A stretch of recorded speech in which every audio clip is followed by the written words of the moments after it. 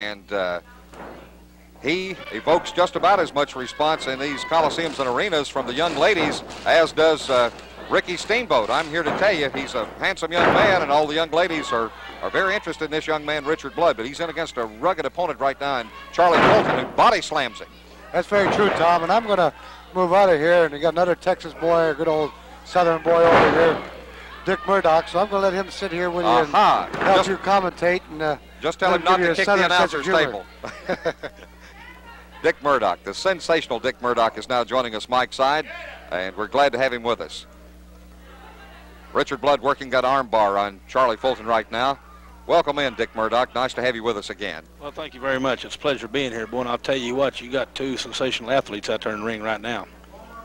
I tell you, I just left uh, instructions with George Scott for you to, to, be sure not get so worked up that you kick the, the wrestlers' uh, announcers table about three feet like you did uh, in one of our other matches on Wide World Wrestling. Look at that action up in the ring right now.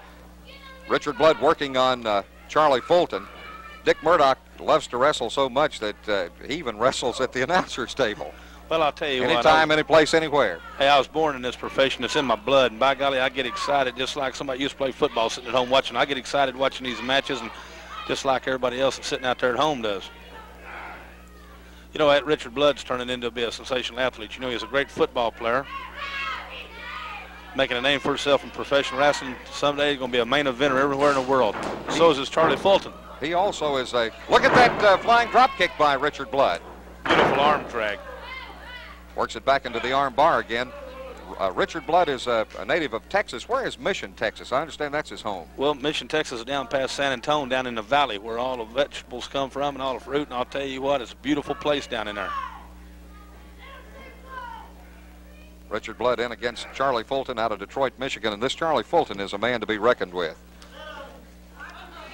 He's a scrapper, a fighter from the word go. I'll tell you what, Richard Blood was a great football player at West Texas State University. You might say that I tutored the man there. And I'll tell you what, he's turning into be one heck of an athlete here. Well, he couldn't have a finer teacher uh, than in the form of one Mr. Dick Murdoch. And I, I mean that sincerely. Well, thank you. I just, I'll tell you what, I just hope I help professional wrestlers we did in football. He's got his hands full right now. He's in a little bit of trouble, you know, but I'll tell you what, going to have to wrap him up. You're going to have to tie those legs up to cover him for a one, two, three. Fulton going for a big slam. Or not, hey, you talk about getting the wind knocked out of you. That will definitely sure do it. Full force of your body coming down on your back like that, it, it, it momentarily takes the breath completely out of you, as Dick Murdoch says. Well, you know, you hear a lot of people say that don't hurt. Everybody knows how to fall and everything else. Well, I'll tell you what. You learn, I'll tell you what, when you're picked up six foot high in the air and you get slammed down, I don't care what you know, it dang sure vibrates everything in your body. And today's professional wrestlers all go at 200 pounds or better. A 200 pound man is a small man in professional wrestling today. Yeah, 200 pounders are not even hardly around anymore. You know, you look at any sport, hey, they're 260, 270, and they're getting bigger every year and better athletes. What you were saying about Richard Blood is coming true right now. If you don't count this man out, you might get him down, but uh, as Dick Murdoch says, you're going to have a heck of a time keeping him on that canvas. Foot going for that reverse chin lock, which is a very good hold there to keep the man down and tire him out. You're going to tire yourself out fighting, trying to get rid of it, and Fulton's got the weight on you. He's got the advantage right now in being behind his opponent. And as of right now, I'd say that Charlie Fulton is carrying this match pretty well to Richard Blood. How important is it to be the aggressor from the opening bell? I noticed in uh, you commentating the other week on Wide World Wrestling, uh, you were talking about uh, uh, a young wrestler that uh, that looked really good, but you said he's just not carrying the, the match to the other man the way he should be. Well, in 99% of the time, oh, there was a big knee to the stomach. Richard trying to get too carried away there. At 99% of the time, you need to be the aggressor, but a lot of times you're in there against somebody that's got the more experience where you need to, you know, kind of wait around, not really wait, but take things easy. Kind of bide your time and wait till you. Right, because you're in there against that experience, you're finally going to make a mistake and slip up, and he's going to capitalize on you and beat you. But you know, if you got the experience on somebody, you got the size, you figure you got the ability plus the uh, endurance. Well, you go ahead and be the aggressor and take the battle to him because you're finally going to wear him down and beat him.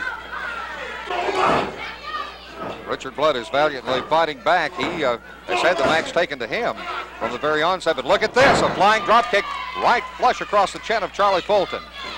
Beautiful drop kick. Richard going for that big slam. Oh. and a big elbow there. I'll tell you what, it come right across the chin. I believe that could be it. There's a one, two. Nope. You got to wrap them up these days. The competition is getting keener all the time in professional wrestling. Uh, some maneuvers and some holds that, that used to work years ago simply do not uh, put a man away anymore. You've got to look at that. Beautiful reversal by Richard Blood. He's stepping in for his hold. I believe he's going to try to get his hold on Charlie Fulton. He's working on that leg. There he goes. He steps in, hooks that leg, and does a beautiful bridge back. Look at that. One, two, three. And that's it. That's it. The bell, and we're ready now with action fans in this match for the NWA, the National Wrestling Alliance TV Championship belt. The champion, Paul Jones, the challenger, Terry Sawyer. As Sawyer backs him into the ropes and gets a clean break as Sawyer backs away from him.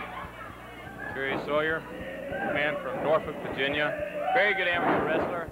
Paul Jones. Nice sit out. Well, Jones moving very well also, as they both were. And they come up looking each other eye to eye there, and I tell you, if looks would kill, we'd have to drag them both out of the ring right now. That's right. All right, now let's. Paul Jones, remember his title is at stake for the first 15 minutes of the match. Nice move by Paul.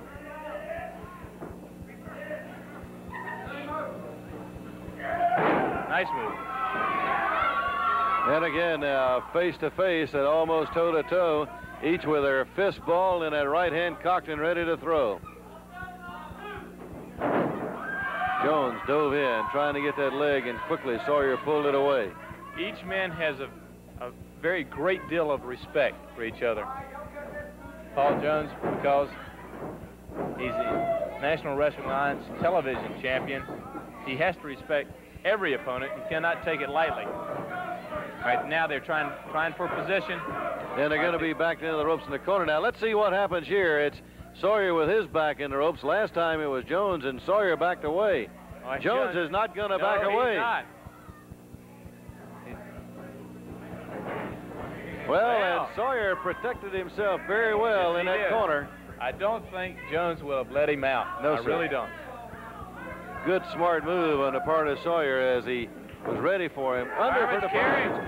Comes up with the arm bar. Nice move. Now with the arm and up on his tiptoes, trying to get all the leverage. Jones going to send him to the mat, but he's going to keep that bar. Yes, he is. Paul Jones. Still has it. And now he's trying for the leg. Paul Jones, his favorite hold is the Indian Deathlock, so you need to watch for that. If he can get the legs in that, it can be all over for you. All right, nice, nice go through. Has a double wrist lock. And he's still got that arm. Right. Watch out. Wait a minute. All right, there, Yeah, he's the- going to in be that back corner, corner again. again. And let's see if he can protect himself this time. All right, Jones. Jones trying. He's trying to get him back there. Trying to find an open spot. He did. and he did with the elbow. Into the top of the head. The elbow now. A rabbit punch to the back of the neck with that elbow. That was a forearm to the head. An elbow now. Now Sawyer into Jones, trying to slow him down, lean on him if he can, and backs him to the ropes. And is he going to break clean? No. Big left hand. Now Sawyer is a left-handed wrestler. Now, majority of wrestlers are right-handed, so this is confusing Jones right now. He's, he's really not used to it yet. There was Jones with the right hand. It caught him right on the chin. Oh, right across the nose. Right across the nose with it. He's going to whip him now across the ring into the turnbuckle. Hard goes Sawyer into that turnbuckle, and here's Jones right after him.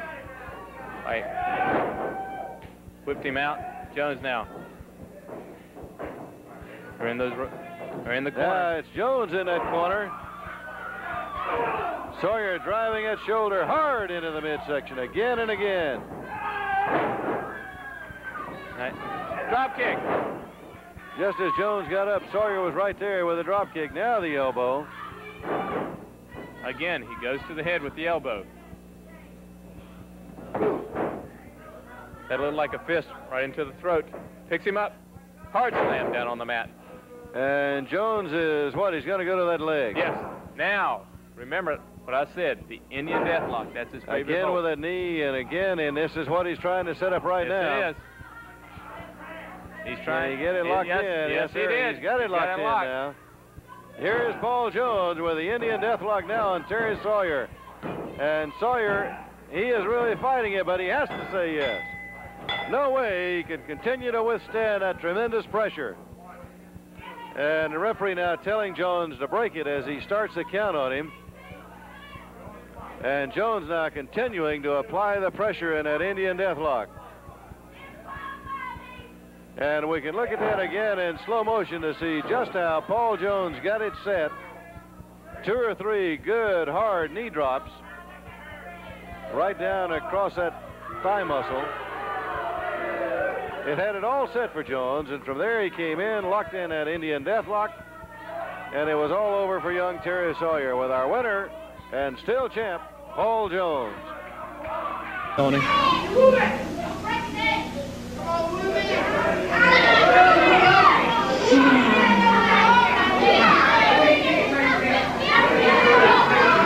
Tony, there it is, and that's looky, a, that's looky a here, Tony Atlas. there.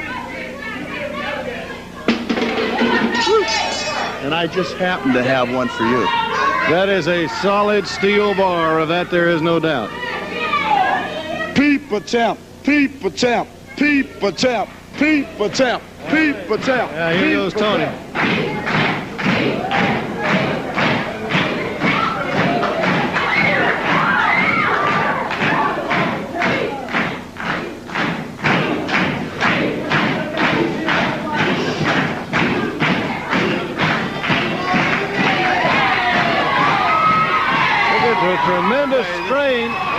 Strength on that bar.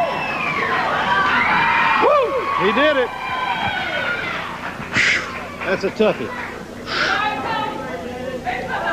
Now, Ken Patera, I have did all of your muscle man stuff. I have listened to all of your bad talking. I am not a weightlifter. I am not a bodybuilder. I am a wrestler, and wrestling what I do best. So give me a chance at your title. Now that I did what you want me to do, do what I want, and give me a chance at that title that I want your I'm title. telling you something, Tony Atlas. Don't push too fast. We want the title. You think he ain't take my title? Yeah. And a headbutt from Tony Atlas and Patera goes right down. Hey, I'm gonna get some more of you until I get that title, boy. And a headbutt. The head. Weaver let him go, and he bounces right back out. And he's getting awfully weak, it looks like. He is.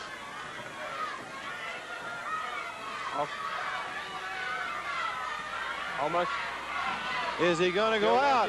He's going to hit the mat. He's working. Weaver with a locked. sleeper. One minute. There's one minute. one minute remaining. One now. minute. That's One it. minute. That's it. Beautiful. Johnny Weaver won. He's still got a minute of time left. And Johnny Weaver in the sleeper. He still had a minute to go. Johnny Weaver, the winner. The sleeper hole of Johnny Weaver defeats the claw hole of Baron Von Raschke. Right. Raschke is yelling choke. Raschke is yelling choke. And now he attacks Weaver from behind. Negro gives him the chair. Oh! And he really hits that turnbuckle with that chair. That post. And he just about tore that chair up. Weaver, he does a smart thing. He gets out of the ring. That's right. You have to against that metal chair. No way to stay around and fight him with that chair in his hand. And Johnny Weaver, with that sleeper hole, is the winner over Baron.